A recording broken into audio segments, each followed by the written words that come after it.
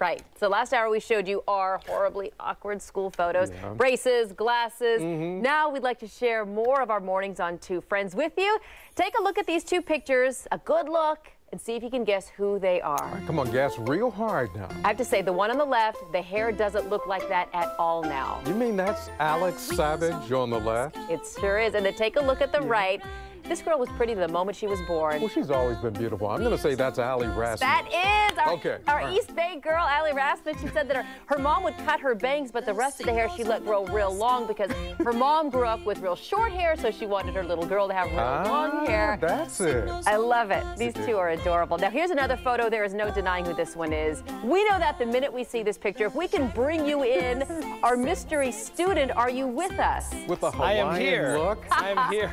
Tell us about this picture, that was, uh, I think that was Hawaiian Day. I hope it was. Hawaiian Day. uh, I think at that point I was at Skyline School in Daly City.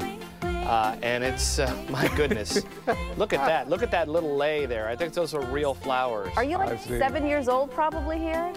Uh, I think I was in fourth grade, yeah. Oh, okay. Well, what is fourth, whatever that is That's like in fourth grade. eight or nine. So you had your DJ look Nine or ten, they say, nine or ten. Yes, Oh, so great that's, uh, that, we're going back here.